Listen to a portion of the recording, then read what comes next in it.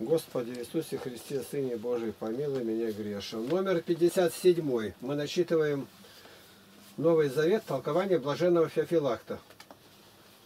2 Коринфянам 11.29 Кто изнемогает, с кем бы и я и не изнемогал? Кто соблазняется, за кого бы я не воспламенялся? Толкование. Чтобы кто-нибудь не сказал, что он правда заботился, но заботился так, обыкновенно, он показывает свойства своей заботы. И не сказал, я принимаю участие в скорби, но подвергаюсь ей сам до изнеможения. Изнеможение же разумея как телесное, так и в особенности душевное. Слово «кто» нужно разуметь так. Будет ли то важный или незначительный человек. Затем, как он выразил избыток скорби, ибо воспламеняясь, говорит. Претерпевая все другое, он радовался, зная, что претерпевает ради Господа. Здесь же он уязвляется душой так, что соблазн другого, даже человека незначительного и отверженного, причиняет ему большую скорбь. А что слово «воспламеняюсь» нужно понимать в смысле «соблазняюсь», этому научает нас Давид. Ибо как апостол сказал, кто соблазняется, за кого бы я не воспламенялся, так же точно и Давид говорит, когда кто соблазнится, и я явлюсь соблазняющимся, и стараясь увращевать эту болезнь, как свою собственную. Где же говорит это Давид? В словах, когда гордится нечестивый, раздражается нищий. Псалом 9.23. То есть бедный соблазняется, когда приходит к мысли, что недостойные люди изобилуют богатством и превознесены. 2 Коринфянам 11.30 Если должно мне хвалиться, то буду хвалиться немощью моею. Толкование. Немощью называют гонение, ибо при голоде, бичевании, кораблекрушении, перенесении других бедствий обнаруживается человеческая немощь, о знамениях он не упоминает здесь, потому что они были даром Божиим. Бедствия же вместе с силой Божией показали и его терпение. 2 Коринфянам 11, 31. Бог и Отец Господа нашего Иисуса Христа, благословенный во веки, знает, что я не лгу. Толкование. Ничего из прежде сказанного он не подтвердил. Здесь же подтверждает и удостоверяет, может быть потому, что то, что он сказал здесь, совершилось давно и было не так ясно, а прежде рассказанное, как, например, скорби и тому подобное, было известно Коринфянам. 2 Коринфянам 11.32 В Дамаске областной правитель царя Арет, царя Ареты стерег город Дамаск, чтобы схватить меня. И я в корзине был спущен из окна по стене и избежал его рук. Толкование. Смотри, как сильна была борьба, если из-за него начальник стерег город. Правитель народа, конечно, не поступил бы так, если бы ревность Павла не воспламенила всех. Арета был тесть Ирода. Убежал, исполняя закон Господа, ибо и Господь переходил из места в место. Себя самих не должно подвергать искушениям. Там же, где бедствия неизбежны, должно полагаться только на Бога и от Него просить и ожидать избавления. А когда искушение непосильно, должно изыскивать и свои средства. Но и в этом случае должно все относить к Богу, как и то, что апостол спасся в корзине – Хотя он и сильно желал быть со Христом, но он любил также спасение людей и берег себя для проповеди. Комментарий Игнатия Лапкина. Сегодняшний священнослужитель знает свою цену. Кавычки открыты. Если меня не будет, так и умрете в грехах. У вас некому будет вести богослужение, некому будет отпевать вас, покрестить ваших детей. И батюшку берегу для требу, но не для проповеди. Проповеди он и сам боится. Еще скажет что-то не так.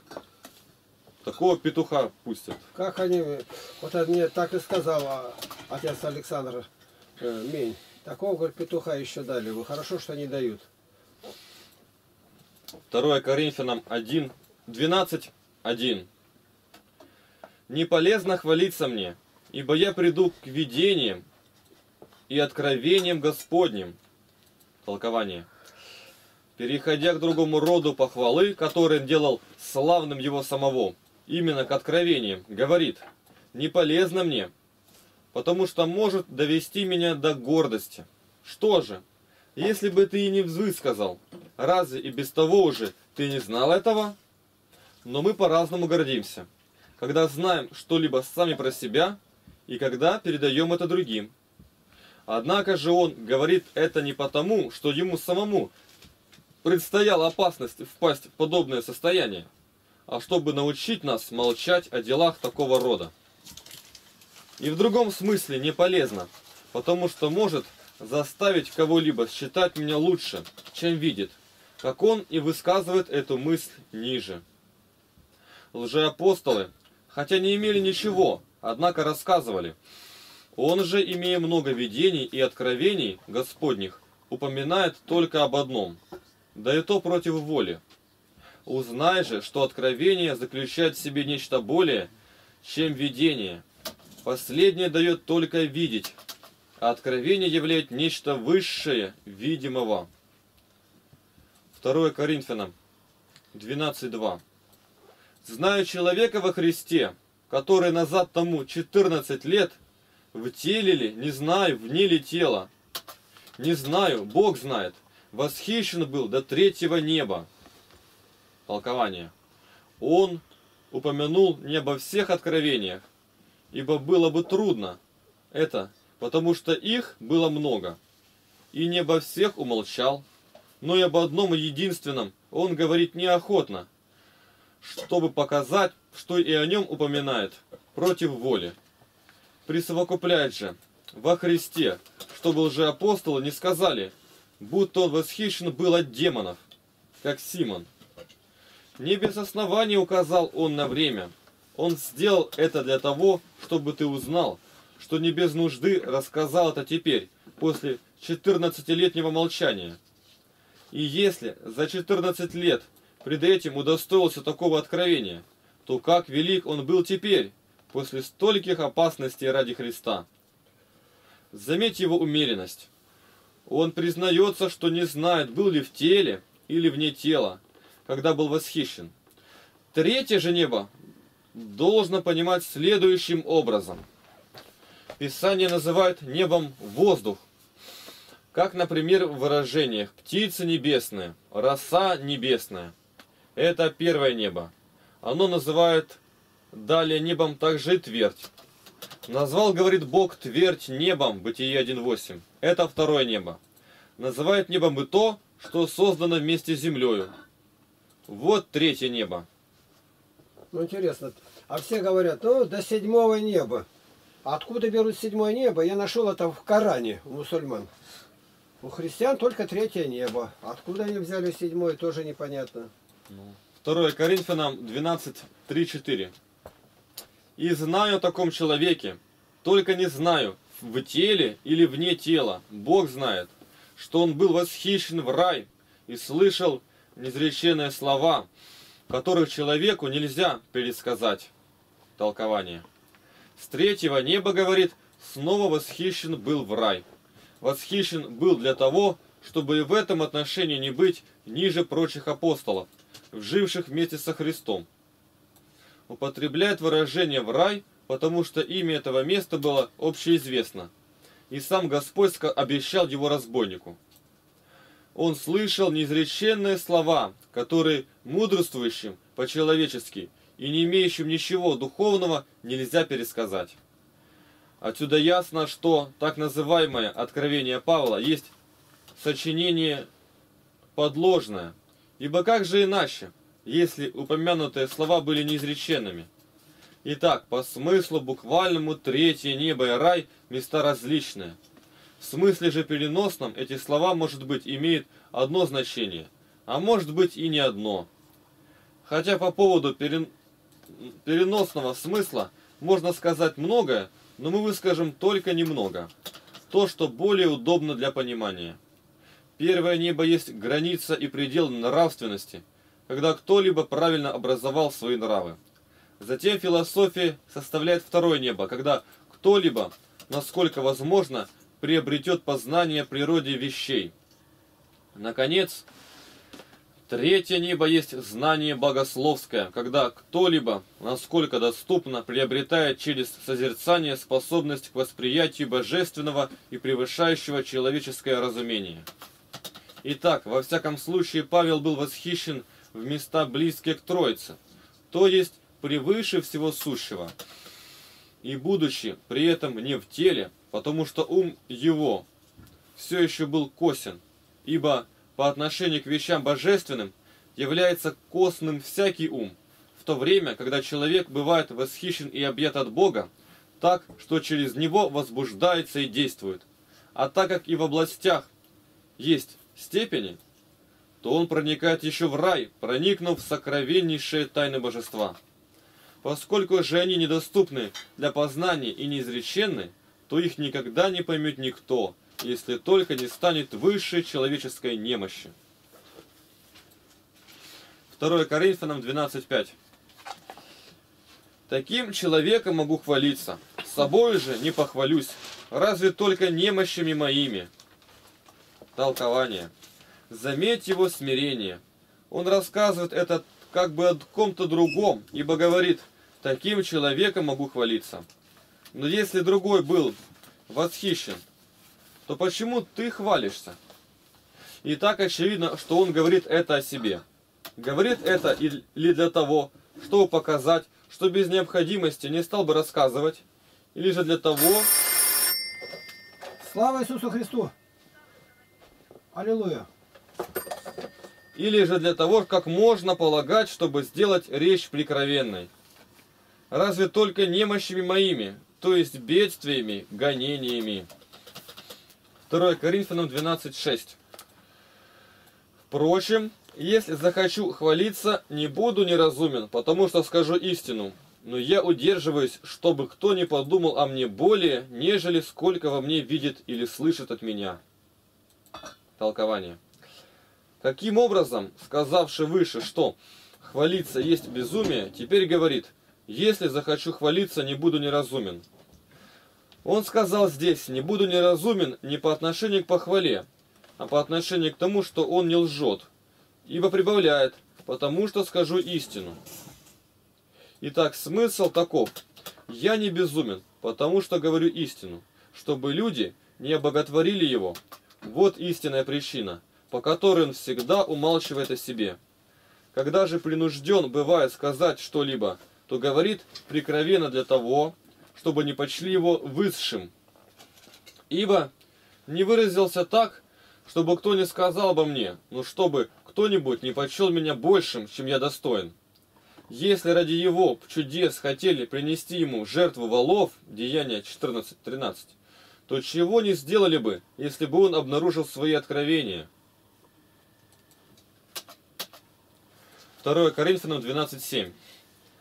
«И чтобы я не превозносился чрезвычайностью откровений, дано мне жало в плоть, ангел сатаны, удручать меня, чтобы я не превозносился». Под ангелом сатаны и жалом, кол, стрела, некоторые разумеют головную боль, причиняемую дьяволом. Но это неверно, ибо тело Павла не было предано дьяволу, Напротив, сам Павел скорее повелевал дьяволу и назначал ему границы, когда передал ему блудника во измождение плоти. 1 Коринфянам 5.5 И он не приступил положенных ему границ. Что такое сатана? Противник по значению еврейского слова. Итак, ангелы сатаны – суть все противники. Александр Кузнец, Именей, Филит и все угнетавшие Павла и причинявшие ему зло, как совершавшие дело сатаны. Посему смысл его слов таков. Бог не допустил моей проповеди преуспевать безопасности и трудов, чтобы я не возгордился тем, что удостоился многих откровений. Почему же он говорит, что ему дан был ангел сатаны, а не ангелы? Потому вероятно, что во всяком месте находи, находится один противящийся и возмущавший народ, а остальные следовали за ним, как за предводителя. Или же, что еще вероятнее, самую вещь или противление проповеди и несение опасностей он назвал ангелом сатаны. Кем же он дан был? Бог попустил ему, говорит он, ибо такой смысл имеет слово «дан», не для того, чтобы он однажды причинил мне пакость, а причинял бы постоянно. Что же касается слов, чтобы я не превозносился, то некоторые понимают их так, чтобы меня не прославили люди. Но хотя Павел и сказал в другом месте нечто подобное, здесь он говорит другое, а именно, чтобы я не возгордился, ибо и он был человек. 2 Коринфянам 12, 8, 9. Трижды молил я Господа о том, чтобы удалил его от меня. Но Господь сказал мне, довольно для тебя благодати моей, ибо сила моя совершается в немощи. И потому я гораздо охотнее буду хвалиться своими немощами, чтобы обитала во мне сила Христова. Толкование. Трижды молил, вместо много размолил. Также служит признаком смирения его признания, что не выносил козни дьявола и страданий и просил помощи. И сказал мне, говорит он, довольно тебе того, что я дал тебе благодать воскрешать мертвых и совершать все чудеса. Не проси же, чтобы твоя проповедь преуспевала без опасностей, ибо это излишество. А то, что тебе давлеет, ты получил. Ты страдаешь, Павел, для того, чтобы не показалось, что многие проставляют препятствия для проповеди. Вследствие моего бессилия, дерзай, ибо сила моя обнаруживается полнее, когда вы, гонимые, побеждаете гонителей. Заметь, сам он сказал, что для того предан искушением, чтобы он не превозносился. Бог же указывает другую причину этого. Ту именно, что сила его тогда только обнаруживается вполне, когда апостолы будут находиться в немощи, то есть среди гонений и опасностей. Поскольку, говорит, я услышал, что сила Божия совершается в немощи, то я отныне буду хвалиться немощами моими. Ибо чем многочисленнее будут они, тем более обильную силу Божию не изведут на меня. Итак, не думайте, что я со скорбью говорю о жале, но скорее радуюсь и хвалюсь, так как через умножение бедствий привлекаю на себя большую силу Божью. Игнатий Лапкин, комментарий. Сегодня самые большие препятствия для проповеди оказывает епископ, нерожденный свыше, или и ленность пастырей, их невозрожденность, нелюбовь к Богу и к Слову Его, и нелюбовь к людям. 2 Коринфянам 12.10 Посему я благодушествую в немощах, в обидах, в нуждах, в гонениях, в притеснениях за Христа. Ибо когда я немощен, тогда силен. Или силен. Толкование. Я желал, говорит, как человек, избавиться от бедствий. Но после того, как услышал то, что услышал, хвалюсь и благодушествую, то есть радуюсь, нахожу удовольствие в немощах. Потом же, чтобы ты не подумал, что он разумеет горячку и другие болезни, он объясняет тебе эти немощи, говоря, что они заключаются в обидах и так далее.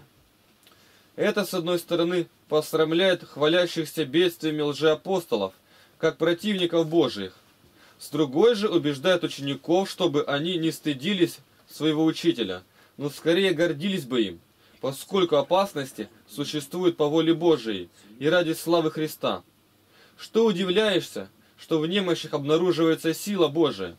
Ибо я среди их становлюсь сильнее, имею в себе обильнейшую благодать, как, например, в тех случаях, когда, будучи в заключении, обратил темничного стража. Деяние 16.31. Когда, потерпев кораблекрушение, привел страх островитян-варваров. Деяние 28.4.6.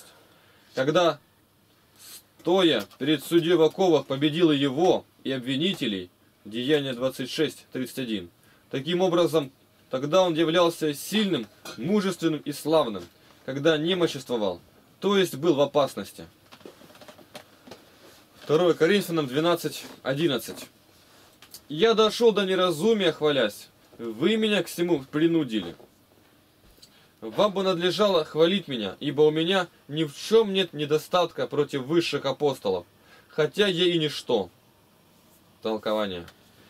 Опять оправдывается в том, что хвалятся. И выше он сказал, примите меня, хотя как неразумного и как бы в неразумии а теперь называет себя неразумным уже без частицы как, ибо сделав то, чего желал, он смело подвергает себя такому уничижению, достаточно научая нас не хвалиться без нужды, поскольку Павел и при существовании этой нужды называет себя неразумным.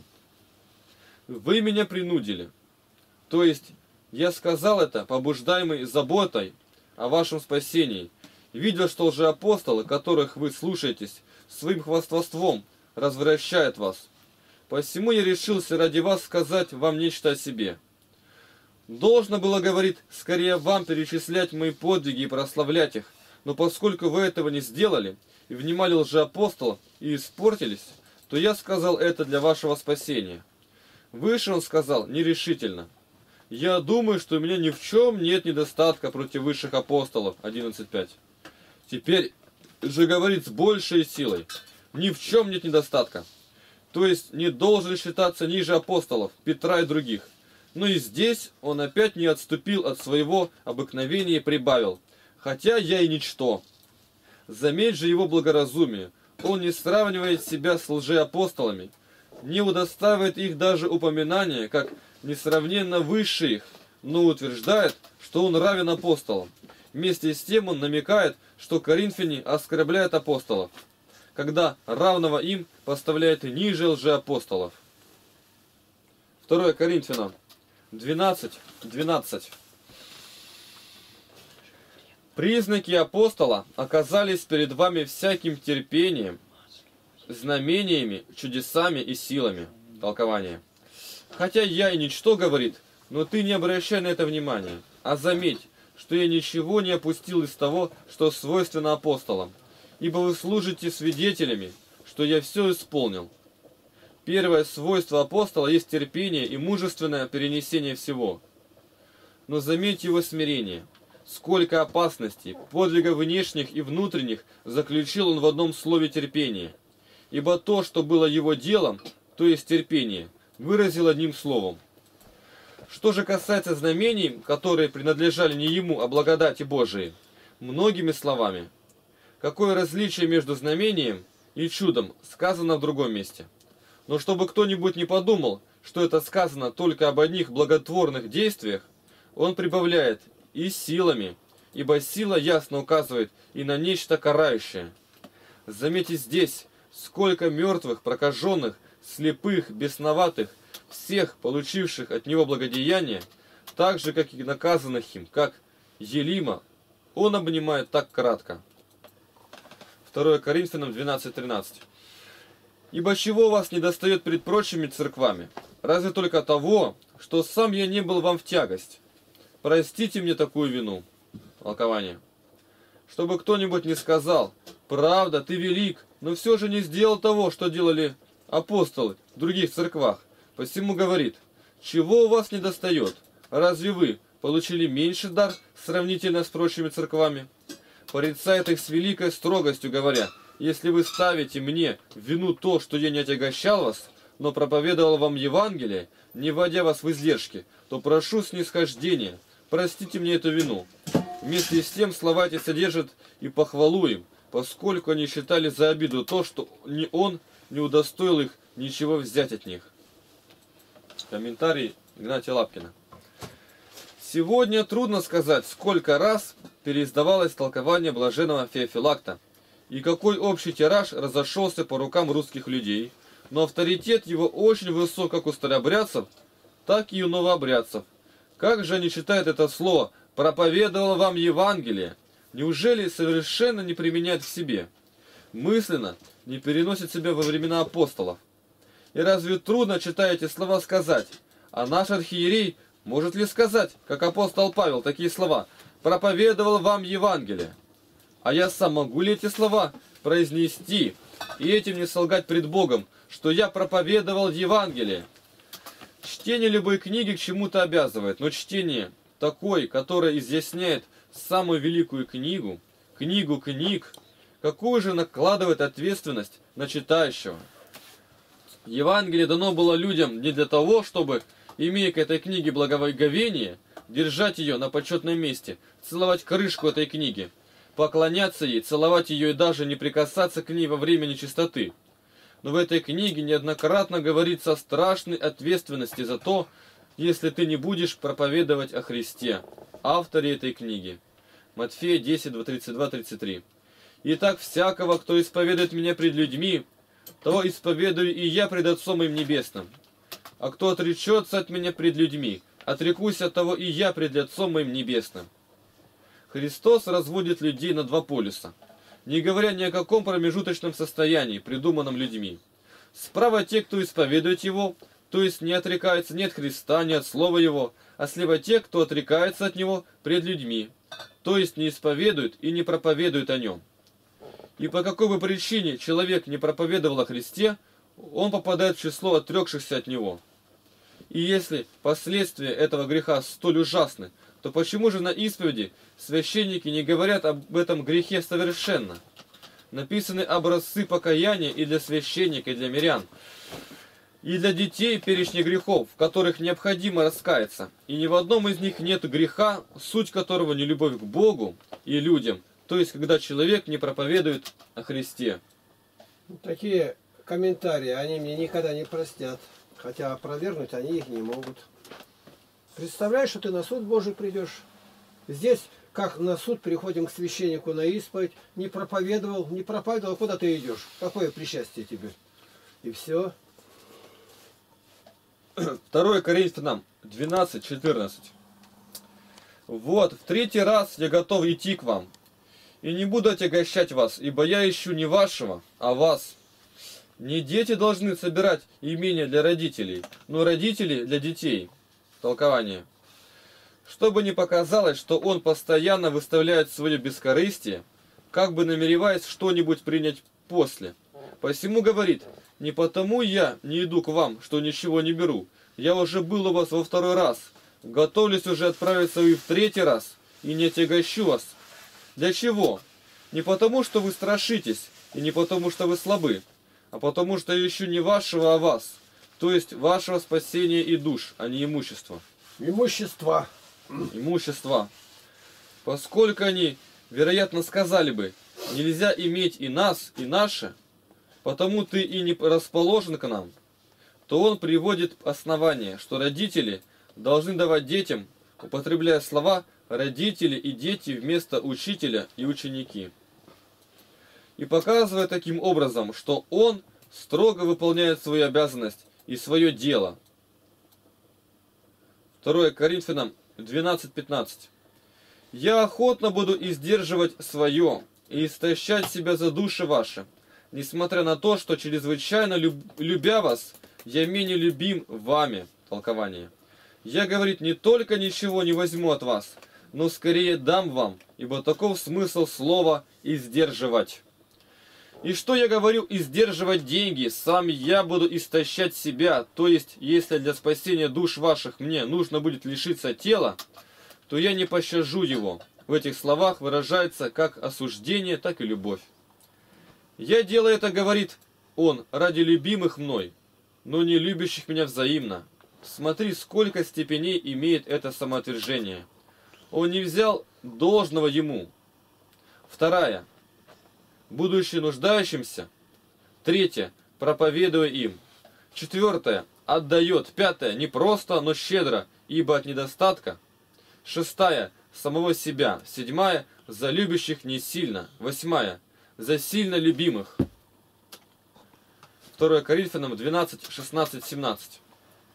Положим, что сам я не обременял вас, но, будучи хитр, лукавством брал с вас. Но Пользовался ли я чем от вас через кого-нибудь из тех, кого посылал к вам? Толкование. Смысл этих слов следующий. сам не обременял вас. Но кто-нибудь может заподозрить, что я, ничего не принимая сам, научил, как человек хитрый, посланных от меня, чтобы они от своего лица попросили у вас чего-либо, чтобы при помощи этой хитрости, взимая, казаться невзимающим. Справедливо ли это? Смотрите, разумейте. Называют же дело это лукавством с целью упрекнуть и пристыдить их, и показать, что они могли давать против воли и как будто вследствие обмана. Ибо в том и состоит лукавство, чтобы взять у кого-либо против воли. Для них величайший спор, если они считают себя жертвой лукавства, потому что питают учителя. Все.